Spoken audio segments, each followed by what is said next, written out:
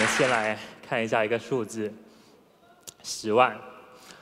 我曾经是一个富二代，啊，之所以说是曾经，是因为后来就家道中落了，所以就不过小时候确实是家里还挺有钱的，嗯，我爸花钱就真的是花钱如流水，可能每天都会去山珍海味这样子。十万块钱是我那时候我们家一个月的吃饭的钱，就九十年代的十万块，大概可以在我们那边买一套房子。然后后来就去读大学了，然后学费也挺贵的，加上各种呃生活费什么，折算成人民币大概也是十万块，嗯，但还好就有奖学金，所以就算是家道中落后还是负担得起。然后再后来毕业之后，我就跑到了上海做管理咨询。那时候有一个还蛮要好的同事，他在业余时间从他的朋友那边用十万块钱接手了一家在人民广场的炸鸡店。然后呢，他就做了一些效率上的运营啊，优化各种提升，然后最后扣掉各种成本之后，每个月大概能给他带来三千块钱的净利润。十万块钱作为本金的话，三千块大概就是年化百分之三十多的一个收益率，其实是挺好的一个收益。OK，那同样是十万块钱，你有不同的花钱的方式，你可以用来就吃掉，你也可以用来交学费。你也可以用来开炸鸡店。那其实这三个选项对应的是三种不同的花钱方式。哎，财务投资，嗯，其实你投资到炸鸡店其实是财务投资，你投资的是资本要素，它可以在未来带给你投资收益。它跟你到股市里面去买股票，然后拿分红，或者说是你把钱存到银行里面。然后拿利息，本质上并没有什么区别。第二个呢是学费，嗯，其实它本质上是对自己的一个投资，它投资的是人力要素，它可以维持甚至是提高你未来挣钱的能力。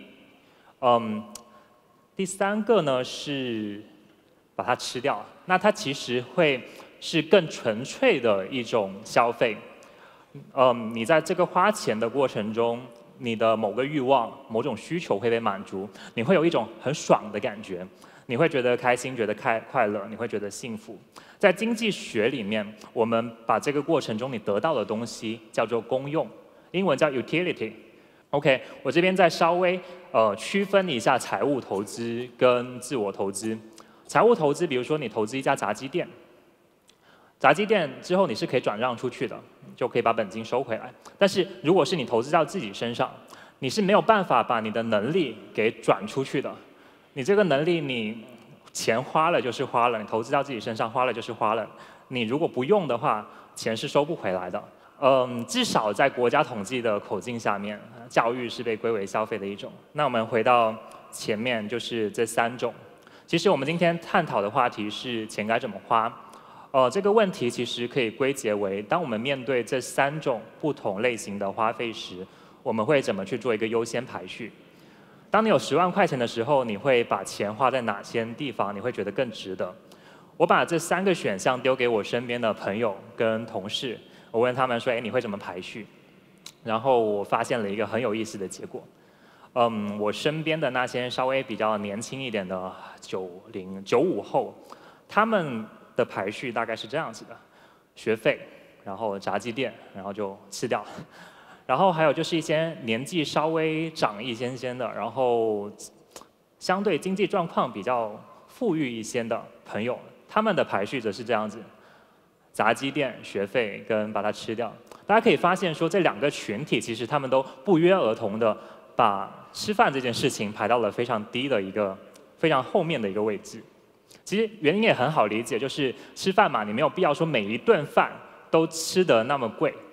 就是吃饭，它会带给你幸福感，就算是东西再好吃，它带给你欲望的满足，这种满足感、这种功用，其实是稍纵即逝的，你留不下什么东西。反而就是投资，无论是自我投资也好，财务投资也好，它是有回报的。但是呢，大家会发现说，这两个群体在自我投资跟财务投资方面，其实在优先级排序上有一个不同。我来解释一下为什么会有这个不同。相对年轻的群体呢，他们的主动收入，也就是工资，其实并没有那么高。这时候如果给到他一笔钱，呃，比如说一百万，然后然后让他去做财务投资，比如说投资到一个理银行的理财产品，百分之四的年化收益吧，或者说就投资到 P to P，呃，百分之七、百分之八，我们假设他不爆雷，那其实一百万一年给他带来额外的收入也就七万八万。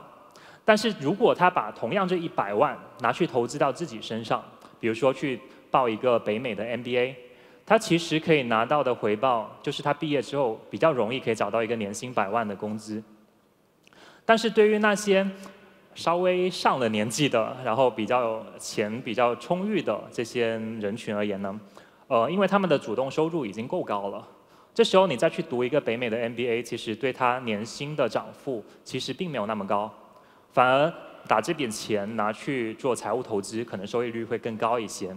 呃，你拿去大湾区买套房也 OK 啊，对吧？所以，呃，这是一个点。然后另外一个点呢，就是，嗯，跟学习能力相关的流体智力，其实理论上来说，会从二十岁左右是达到了巅峰。在二十岁之后呢，你会发现你的学习速度是慢慢的往下降的。我不知道大家有没有这种体会，我的体会比较深。然后，嗯，从这个角度来看的话，其实对于年轻人来说，他们最好的投资、性价比最高的投资，其实是投资自己。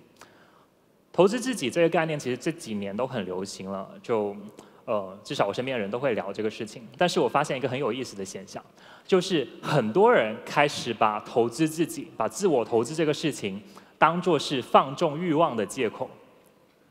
其实，满足欲望跟自我投资这两者本身是很难去区分的，因为很多时候我们在花一笔钱的时候，它可能同时带来两个作用，可能它既可以满足欲望带来功用，它同时又可以提高你未来的收入，是自我投资。比如说，我去吃一顿饭，味道跟口感的满足，其实带给我的是功用，但。食物是有热量的，热量可以让我们维持一个正常的状态，让我们明天还能继续有力气，继续干活去挣钱。它其实也是对自己的一种投资，对不对？所以这两者是比较难区分的。比方说，我有一个朋友，他会花几十万去买一个高级的床垫，他会说：“哎，这个床垫可以极大程度的提高我的睡眠质量，从而提高我的工作效率。”所以它是对自己的一种投资。其实按照这个逻辑，所有的大额支出都可以归为自我投资。比如说，哎，我看到一个包包，这包包很好看、很漂亮，我很喜欢它。我买了它之后，我会很高兴，我会很开心。我一开心，我的工作效率就提高了。所以它这个包包是对我自己的一种投资。所以发现没有这个逻辑？呃，对于大部分人而言，无论是高级床垫也好，包包也好，其实带给我们的更多都是功用。而不是什么主动收入的提高，所以我觉得大家不用给自己乱花钱找那么多借口。不过，呃，不要误会啊，就是我不是在劝大家做一个禁欲主义者，就不是让你什么钱都不要花，不是让你就不乱买东西。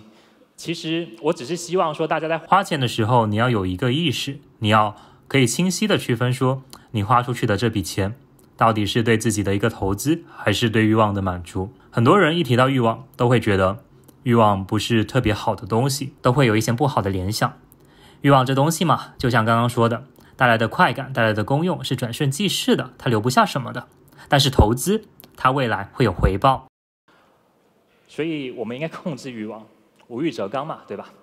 其实这种说法，我觉得是不正确的。我觉得欲望是个非常好的东西。你有了食欲，你才会去找饭吃，你才会活下来；你有了性欲，你才会繁衍后代。你有了求知欲，你才会去探索这个未知的世界。所以我可以毫不夸张地说，是欲望驱使我们去创造一个更美好的世界。欲望是个好东西，所以你把钱，你通过消费这件事情来满足你的欲望，来带来功用，这本身是一件非常非常合理的东西的事情。那我们回到前面那三个选择。你们觉得有哪些人会把满足欲望这件事情排在优先级更高的位置呢？在回答这个问题之前，我们先来，呃，说一个就是平时大家可能都不会去考虑的点，就是你们觉得投资的本质是什么？投资的本质呢是未来的消费，怎么理解这句话呢？你投资进投资投资出去的这些钱，你未来会收回本金，会收回利息。收回来的钱，你最后还是会用出去的，所以它是未来的消费。因为钱这种东西，生不带来，死不带走。就算你百年之后你有一笔遗产，你最后还是会捐出去，或者说是给到你的继承人，其实还是会花出去的。所以我们在决定说现在要存多少钱、花多少钱，其实是在时间维度上面去分配资源，是先苦后甜跟先甜后苦的二选一。对，其实无论。投资，无论是财务投资也好，嗯，自我投资也好，其实都是为了说我们未来可以有更多的收益，然后可以有更多的钱花在公用上面，满足更多的欲望。所以 TVB 里面有一句经典台词，就是“走人叻最緊要係開心”，做人最重要是要开心。这句话我觉得说的特别对，因为人活着其实就是为了公用的最大化。嗯，所以回到前面的那个问题。就是哪些人会把欲满足欲望放在最前面？我们前面说到了两个群体，就是九五后、九五前。那他们在决策的时候都把满足欲望排到了最后面。他们在嗯决定财务投资跟自我投资的优先级的时候，因为收益率有所不同，所以他们的排序会不大一样。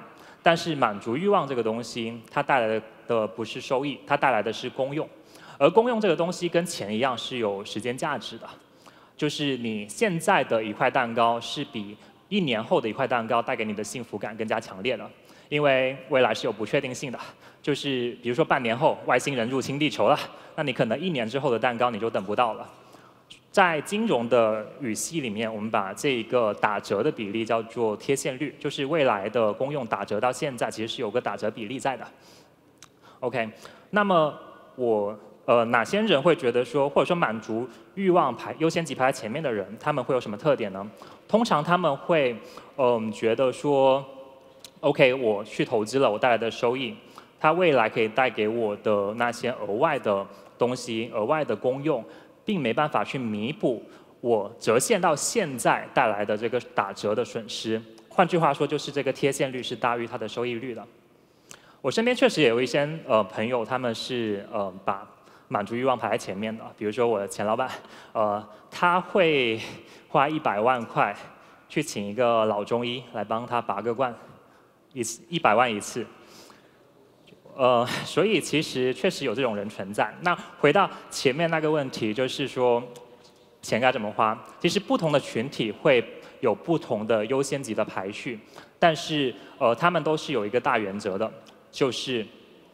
在满足贴现率跟收益率的这考量了这两个呃比例之后，他们都希望说可以最大程度的满足公用，最大化的实现自己的欲望。当然，这种欲望呢不是只有舒适欲或者说是嗯情欲，有一些更高级的欲望，比如说像求知欲，比如说像自我实现的欲望，比如说比尔盖茨他每年捐那么多钱，其实是为了通过捐钱这个步骤来满足自己自我实现的欲望。从而获得公用罢了，这就是我今天的分享，谢谢。